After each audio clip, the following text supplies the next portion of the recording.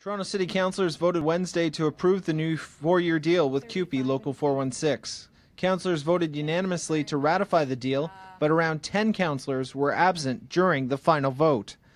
The deal, ratified by the union on Monday, was hammered out after a marathon final bargaining session at the start of February.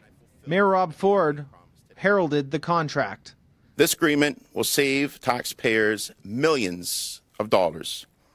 Like I said at the beginning, up to $100 million over the next four years and will allow city managers to improve customer service through more flexible work practices.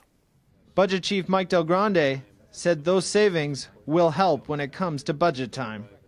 Deputy Mayor Doug Holyday said now the city's attention is on CUPE Local 79. The city is still at the bargaining table with the much larger Inside Workers Union. Yes, we're, we're going to uh, try and uh, get an agreement with 79 and we'll be sitting down with them just as soon as we can. What's your message to them?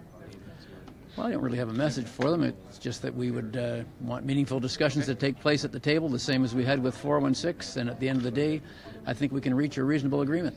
CUPE spokesman Cim Nunn said the local 416 settlement can't be slapped unilaterally on the other unions because they all have different issues to deal with.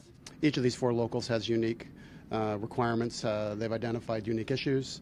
So our hope is that we will be able to secure an agreement that reflects those unique needs.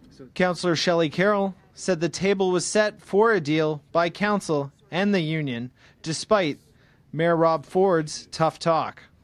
For the Sun News Network, I'm Don Peat.